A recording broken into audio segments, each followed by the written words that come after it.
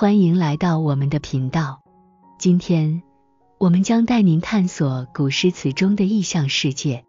你是否曾经在月光下感受到诗人的孤独，或者在花开的瞬间，体会到那些深情的思念？古诗词不仅是字句的堆砌，更是情感的载体与思想的映射。无论是自然的风景，还是人文的关怀，每一个意象都蕴藏着丰富的故事与哲理。在接下来的视频中，我们将说说这些意象背后的深意，看看他们如何通过简单的字词传递出千年情感。让我们一同深入古代诗人的心灵。发现那些令人心动的美丽与智慧吧。一、意象的定义与功能。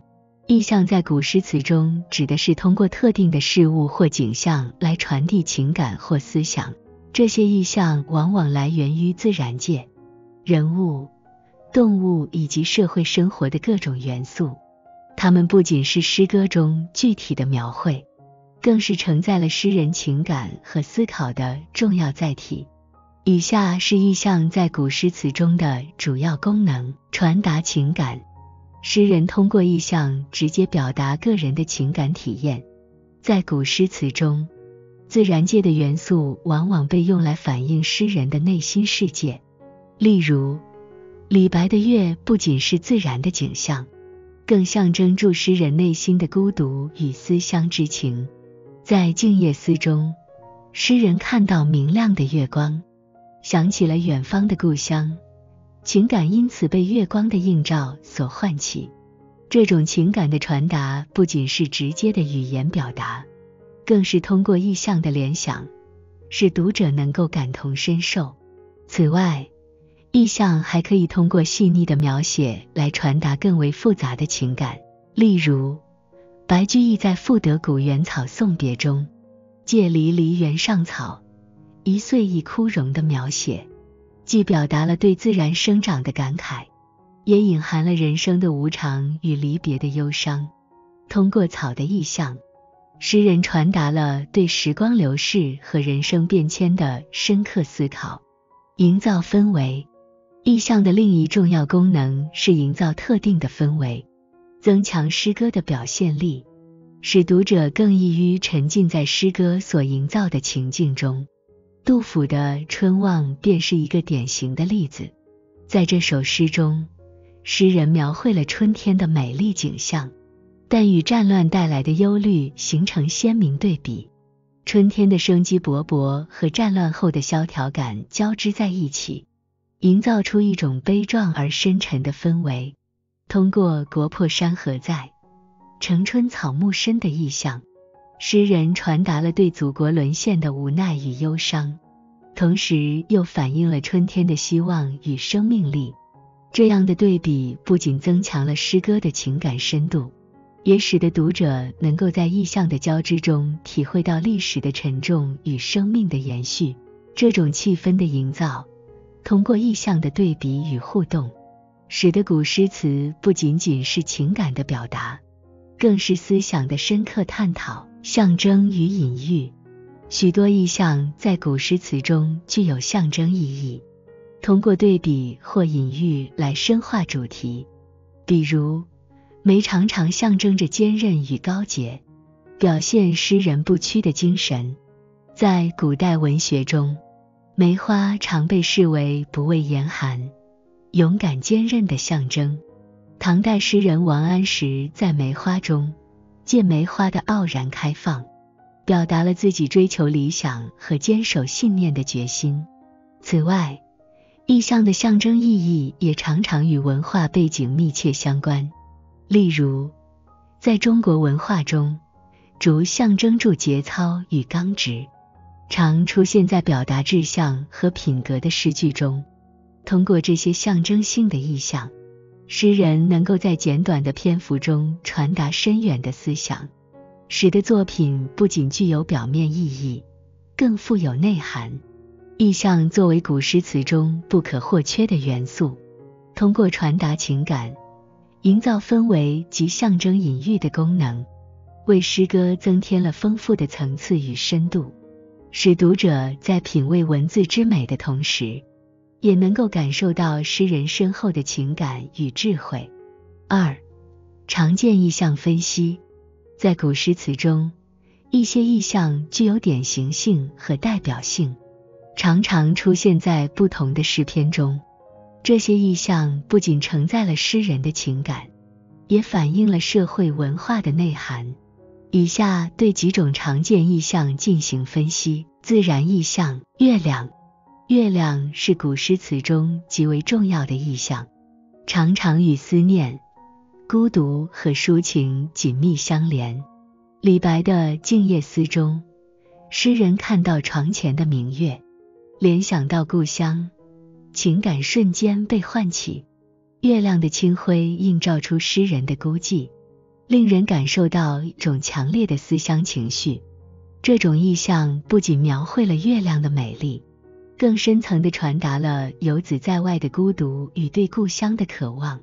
在传统文化中，月亮也象征着圆满和团聚，使得这种情感更加深刻。花花卉意象在古诗词中极为常见，各种花卉代表住不同的情感和人格特征。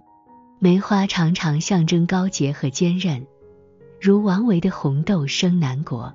借红豆的生长表达思念的情感，温婉而深情。桃花则常常与爱情、春天相联系，寓意住美好与希望。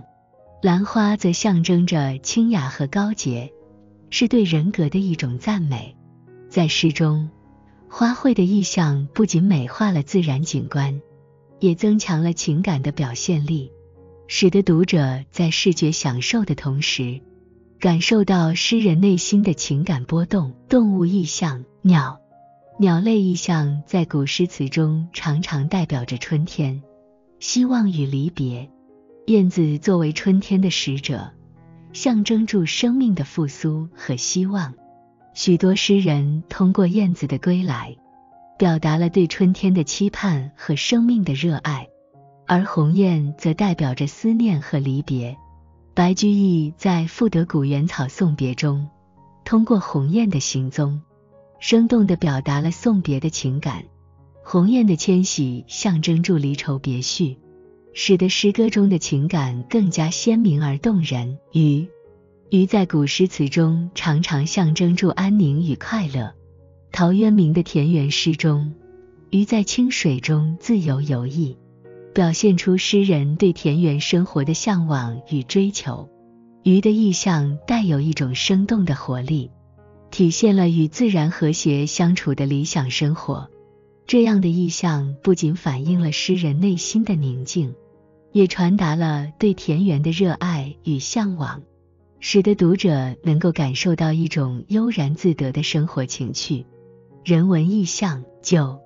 酒在古诗词中常常与豪情、友情相联系。李白的《将进酒》，杯莫停，就是一种对人生洒脱态度的表达。酒的意象不仅是物质的享受，更是情感的寄托。通过酒，诗人与友人共饮，表达了对生命的热爱与对友谊的珍视。在许多诗中，酒也成为诗人与自然对话。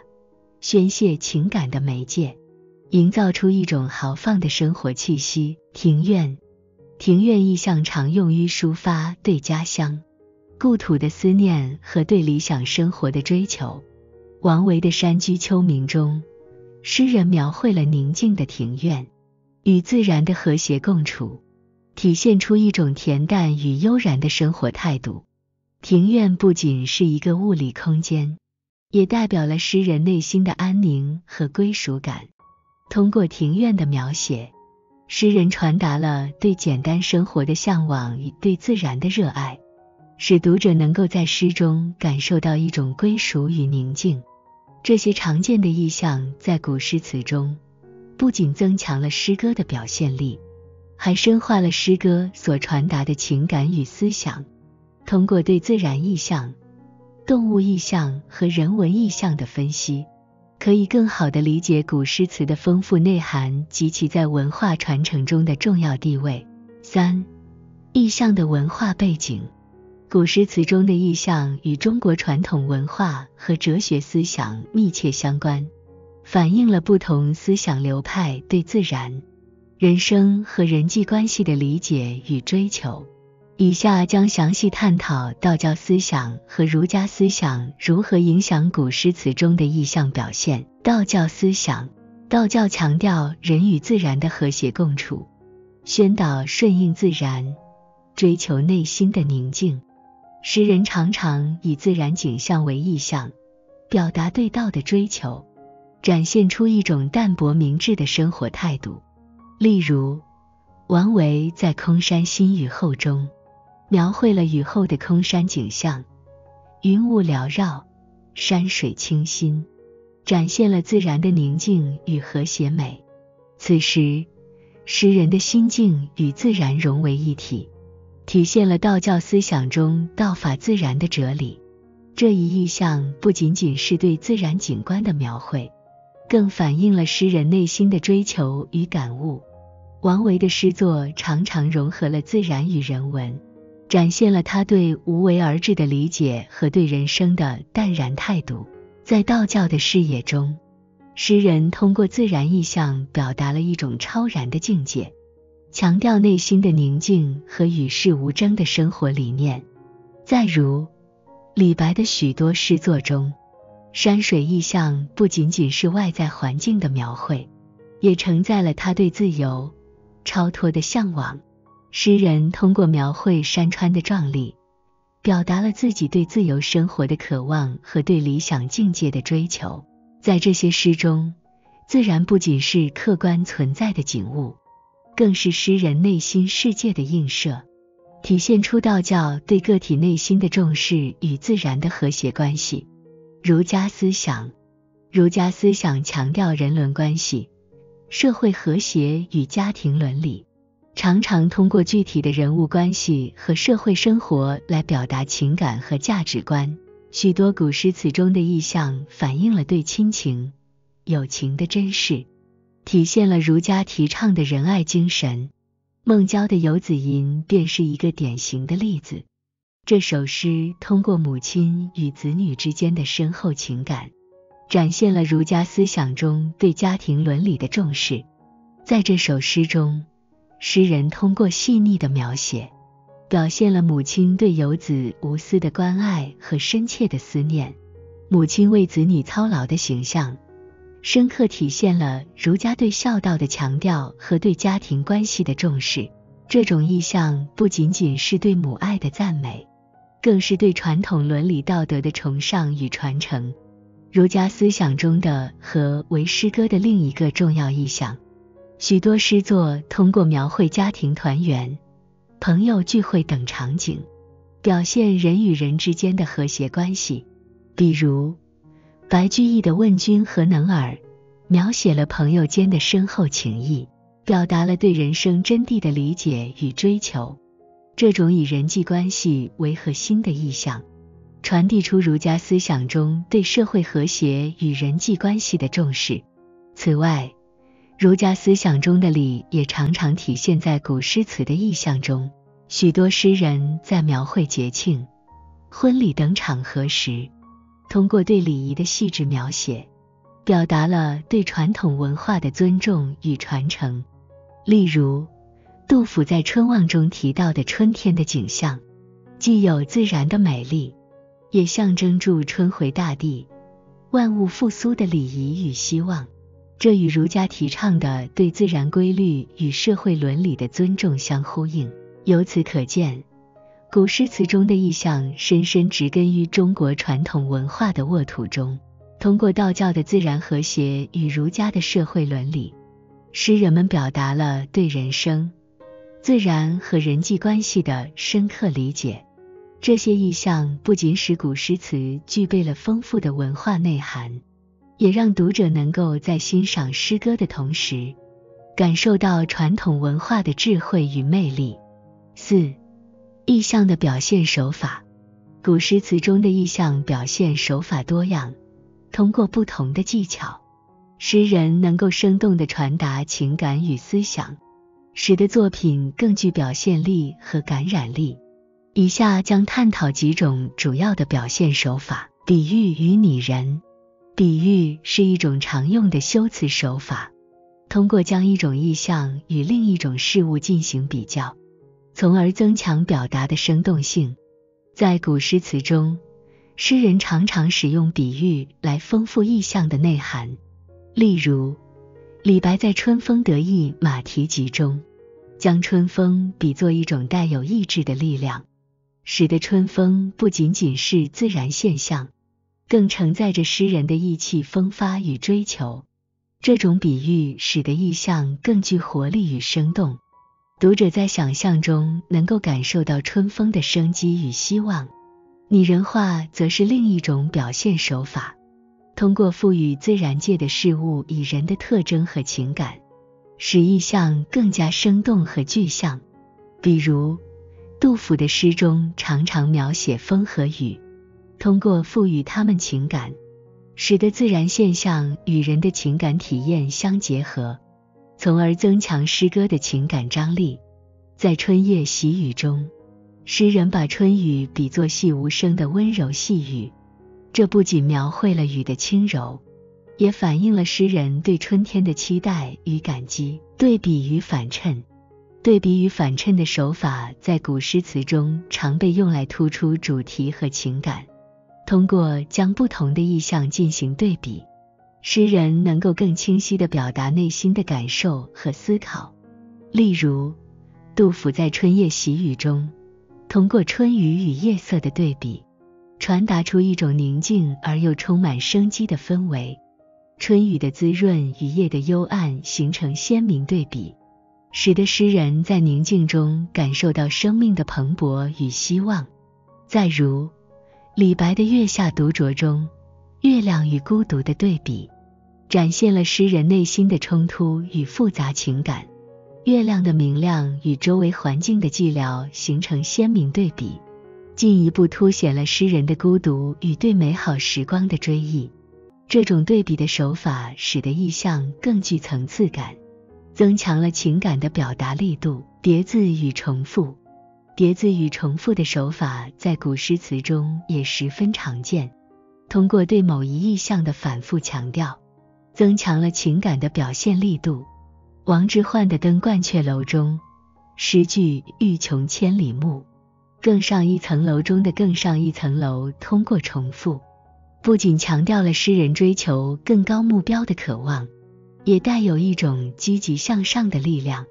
这样的重复使得意象不仅在字面上得以强化，更在情感上引发了读者的共鸣。此外，叠字的使用也可以增强音韵的美感，使得诗歌更加悦耳动听。例如，李清照的《如梦令》中，反复出现的字词通过叠字的形式，营造出一种轻柔而婉转的氛围，使得情感更加细腻动人。这种叠字与重复的手法，不仅增强了意象的表现力，也丰富了诗歌的音韵美感。通过比喻与拟人、对比与反衬、叠字与重复等多样的表现手法，古诗词中的意象得以生动的展现，情感得以深刻的表达。这些手法不仅提升了诗歌的艺术性，也使得读者在欣赏之余。能够更加深刻地领悟诗人内心的情感世界与思想境界。总之，古诗词中的意象不仅仅是修辞手法，更是文化、情感和思想的承载体。通过对意象的细致分析，我们可以更深入地理解诗人所要传达的情感和思想，体会古代文人的心境与智慧。这些意象既是历史的见证。也是中华文化的重要组成部分，值得我们深入探讨与传承。